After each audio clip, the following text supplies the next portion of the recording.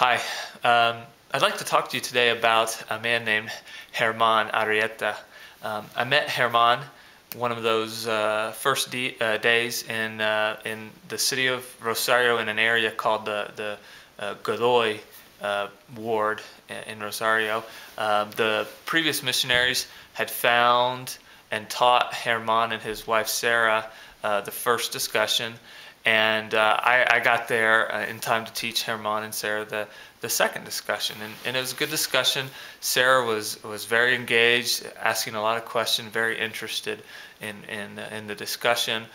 Whereas uh, Herman sat there looking kind of grouchy, uh, didn't say much, uh, very pensive throughout the discussion at the end of the second discussion, we invited them to be baptized, and I thought for sure Sarah would say yes and Herman would say no. But I was wrong. It was just the opposite. Herman stepped up and said, Yeah, I want to be baptized. And Sarah had doubts and wanted to keep listening to the discussion, but wasn't ready to commit to be baptized. So we kept uh, teaching Herman and, and his family.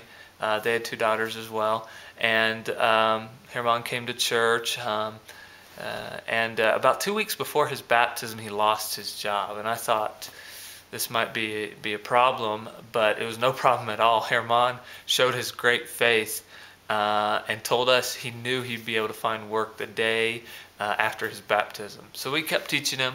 We taught him in one of the last discussions about uh, the law of the fast to uh, not eat or drink for 24 hours and and uh, and to pray and the Lord would give you spiritual strength and, and, and special blessings that you need. And so we, we taught him that discussion about nine o'clock at night, and he said, "I'm going to start fasting this instant." And he invited us back the next night at nine o'clock for dinner to break his fast.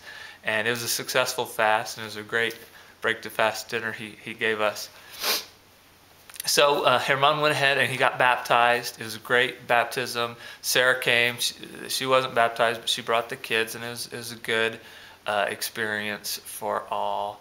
Uh, and true to his word, the day after his baptism, uh, Herman found work uh, and, and, and, got back to work. And uh, he, Herman was, was a great friend and um, I, I, feel blessed to have known him.